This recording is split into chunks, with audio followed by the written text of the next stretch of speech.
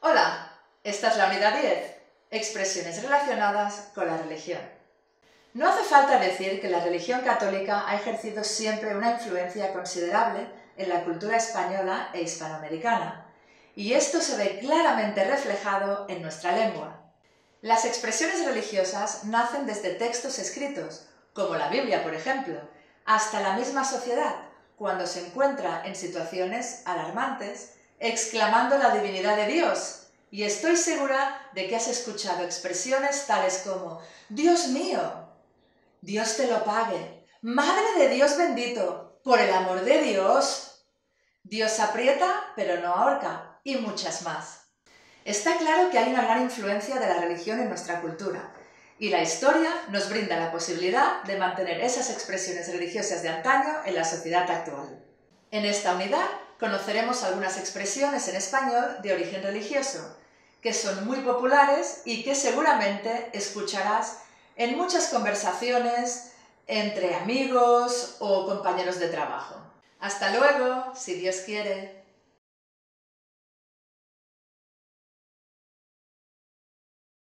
Los santos parecen estar muy solicitados en las iglesias de España y Latinoamérica. Seguro que has visto a gente haciendo cola para poner velas en su santo predilecto y rezar enfrente de éste para pedirle un deseo.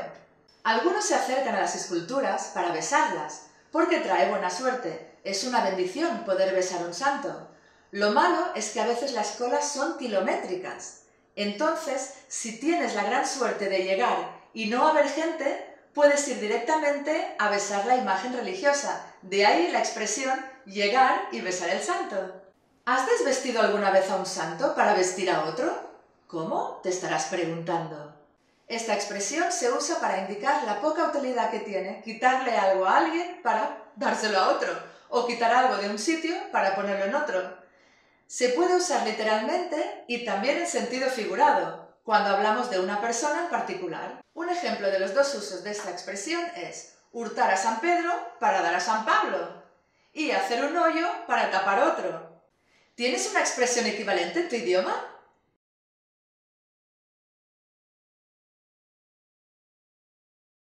Esta mañana me ha llamado Raquel, después de meses sin saber nada de ella. Siempre me llama de Pascuas a Ramos. ¿Qué significa esto?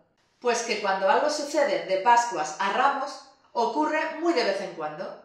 La expresión alude a la fiesta de Pascua de Resurrección, que es una semana después del Domingo de Ramos. Por lo tanto, entre estas dos fiestas hay una diferencia de casi un año. Otra expresión que significa lo mismo es de higos a brevas. ¿Sabrías decirme su origen? Te doy una pista. Tiene que ver con una higuera. Averígualo.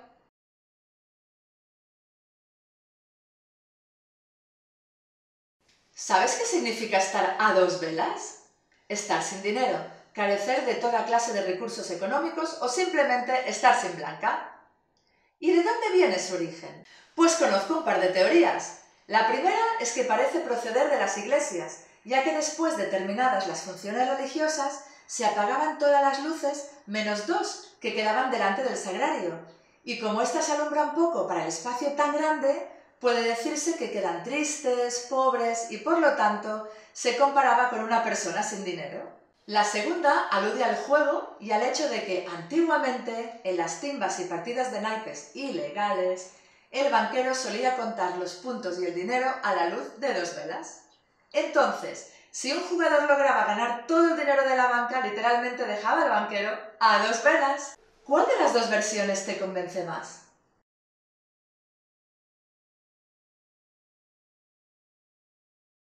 Hoy no estoy muy católica. Y no es que antes fuera católica y ahora haya perdido la fe y cambiado de religión. Nada que ver con esto. Si alguien no está muy católico, es que no se siente bien, o que le duele algo, o simplemente que no está muy fino. Te preguntarás cuál es el origen de esta expresión. En realidad ya se utilizaba hace más de cinco siglos y se originó en tiempos en que la Santa Inquisición torturaba a todo aquel que no profesara la religión católica.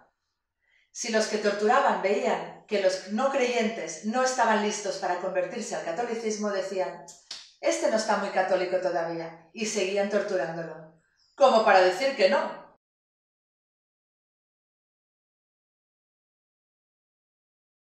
¿Sabes de dónde viene la expresión no saberse de la misa a la mitad?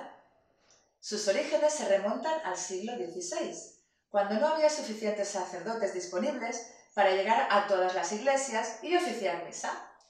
Entonces se les pidió a los clérigos que, aunque estaban un escalafón por debajo de los sacerdotes, celebraran las misas de los domingos. Pero claro, estas se impartían en latín y no todos los clérigos hablaban el idioma, por lo que muchos se la aprendían de memoria y la recitaban de carrerilla. ¿Qué pasaba? Pues que a veces se equivocaban y se quedaban en blanco. De ahí surgió esta expresión, también conocida como no se sabe de la misa la media, para hacer referencia a lo poco preparados que iban estos clérigos. ¿Podrías darme un ejemplo con esta expresión?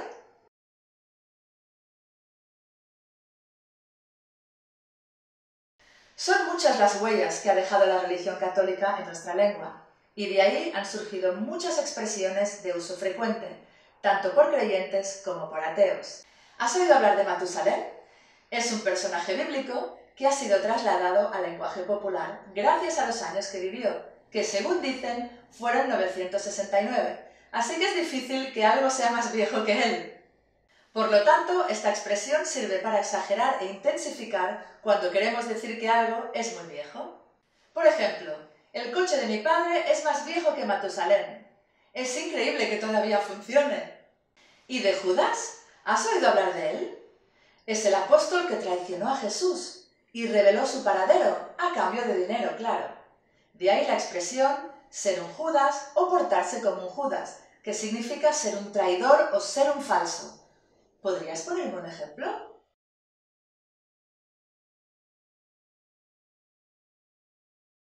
Oye, Natalia, creo que es mejor que salgamos de aquí porque la fiesta va a acabar como el rosario de la aurora. Los chicos han bebido demasiado y no sabemos qué va a pasar.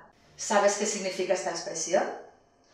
Se usa para referirse a un hecho que sabemos o presentimos que va a acabar mal. El rosario es un rezo que tiene lugar muy temprano en la mañana y la aurora se refiere al momento en el que empieza el día, o sea, el amanecer. El origen de esta expresión no está muy claro.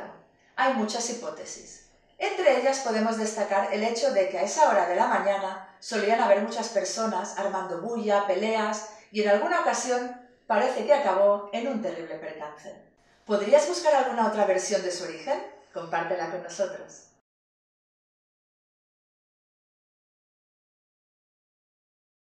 ¿Cuál es el significado de donde Cristo dio las tres voces? ¿Tiene alguna relación con la religión? Esta es una locución adverbial que se usa para referirse a un sitio muy lejano. El origen de esta expresión es bíblico, como no, y hace referencia al lugar donde Cristo se retiró, el lejano desierto. Según cuenta la leyenda, Cristo renegó del diablo nada más y nada menos que tres veces. Hay otras expresiones similares. Estar en el quinto pino, o donde Jesucristo perdió la zapatilla. ¿Conoces alguna más?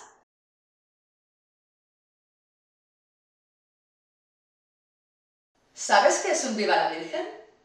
Es una persona que no se preocupa por nada, a quien todo le da igual, sin importarle los problemas o las complicaciones. Tiene un sentido despectivo, y parece ser que su origen se relaciona con el ataque de los piratas ingleses en las costas americanas. Los indígenas entrenados por los españoles, vigilaban las playas y cuando eran atacados estos gritaban ¡Viva la Virgen! También se dice que los indígenas pasaban mucho tiempo sin hacer nada, tumbados en las playas, y parece que se les llamó los Viva la Virgen. ¿Puedes darme un ejemplo con esta expresión?